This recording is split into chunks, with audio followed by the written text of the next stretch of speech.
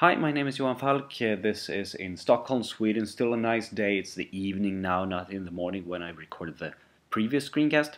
Uh, this is, I think, the first of five screencasts where I talk about blocks and layouts and user interface and workflow for working with blocks and layouts for Drupal 8. Wow.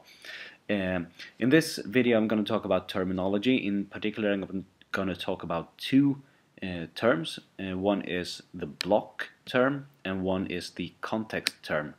Um, both of these I uh, split up into two different parts and, and talk about them separately. Um, I'm going to start with the context because the block stuff you you might already know that's uh, already uh, been has been established on some kind of definitions page for blocks and layouts. So I'm going to start with context, and it turns out that uh, you use context in two different ways. Here is some kind of let's zoom in a bit. Uh, uh, a block that you're adding in inside a page kind of I'll get to that and you have here a, context that is required as configuration by this block into this configuration you plug one of the contexts that you have available in this huge block that, that you're setting, the customized block. And to keep these separate, I am going to call the uh, these settings dynamic settings they accept dynamic input or something so they become dynamic. And the uh, input well the, the, data you can plug into this I call uh, source data or data sources. I think data sources.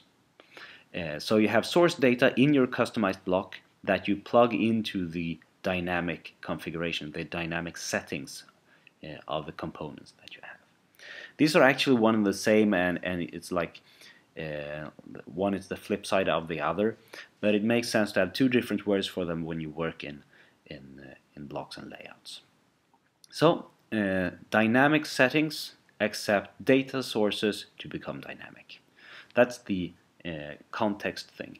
Next thing is blocks, because we have here uh, a big block that you're working with, a customized, well, customizable block that you add content to, and the content is also blocks, and that makes it kind of difficult to understand what you're doing uh, when you're working with this.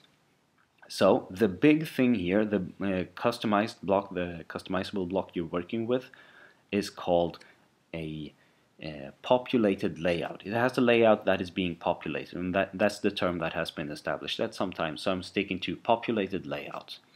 Into the populated layout you put components, which are also blocks, uh, but called components to keep them separate from, from other blocks, from the, the block you're building.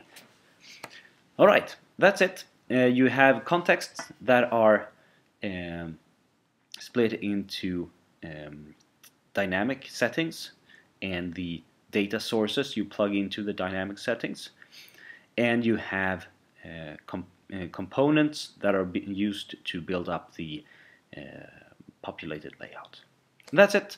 See you in the next screencast. That's where the fun starts. See you there. Bye.